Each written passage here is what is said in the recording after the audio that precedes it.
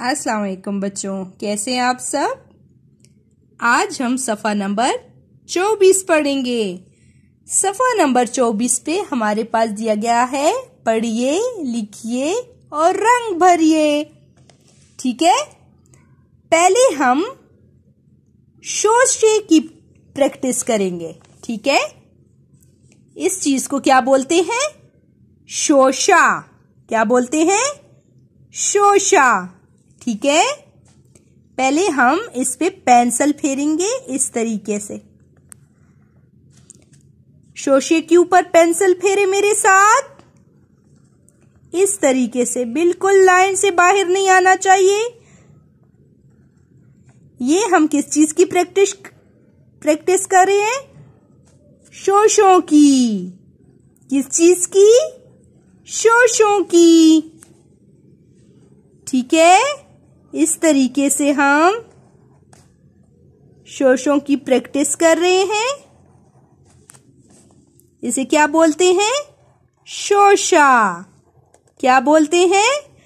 शोशा इसी तरह अगली लाइन में भी हम शोशे की प्रैक्टिस करेंगे। ठीक है? इस तरीके से हम शोशों की प्रैक्टिस करेंगे।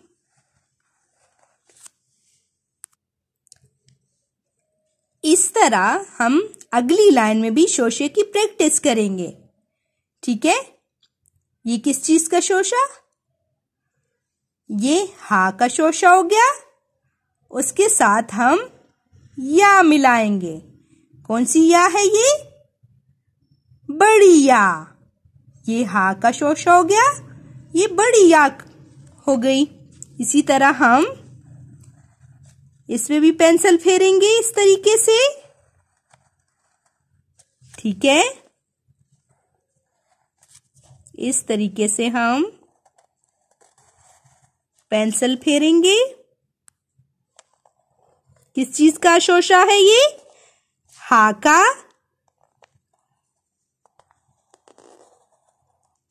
हा के शोषे को इस तरह लिखा जाता है। ये चीज़ जो है, हम शोशे के तौर पर इस्तेमाल करेंगे और फिर हम इसके साथ बड़ी या को मिलाएँगे। आखिरी लाइन में देखें आप। हा का शोशा हो गया।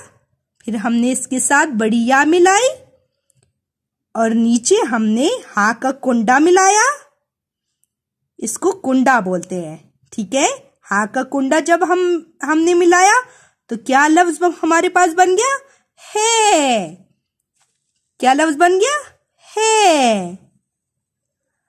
हा का शोशा ठीक है, बढ़िया, फिर हा का कुंडा तो क्या बन गया? है। ये हा का शोशा ये हमने बढ़िया के ऊपर पेंसिल फेरी? फिर नीचे हमने हा का कुंडा लगाया तो क्या लफ्ज हमारे पास बन गया?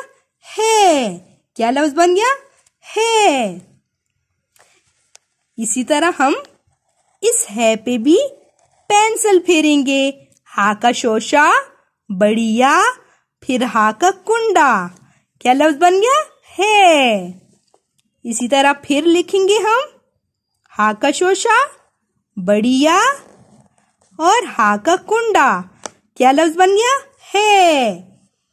इस चीज़ को किस किस के लिए इस्तेमाल किया जाता है?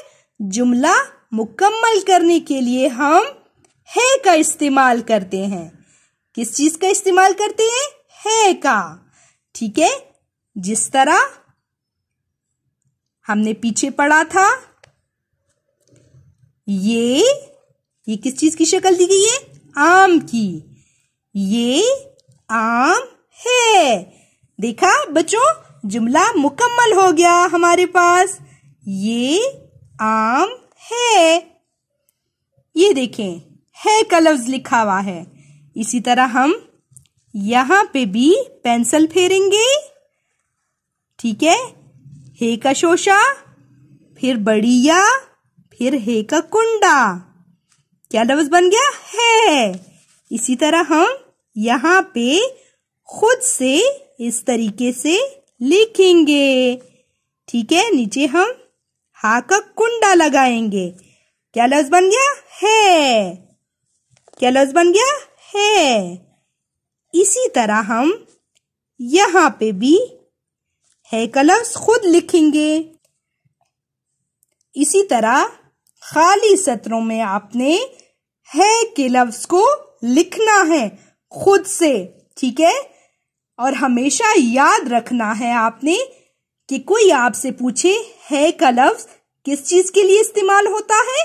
जुमला मुकम्मल करने के लिए हम है का इस्तेमाल करते हैं।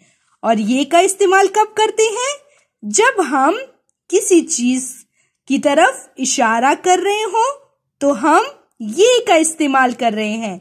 जिस तरह हम आम की तरफ़ इशारा कर रहे हो और हमें जुमला मुकम्मल करना हो तो हम कैसे कहेंगे? ये आम है। ठीक है? इसे आपने याद करना है। और इसके ऊपर आपने लिखाई करनी है।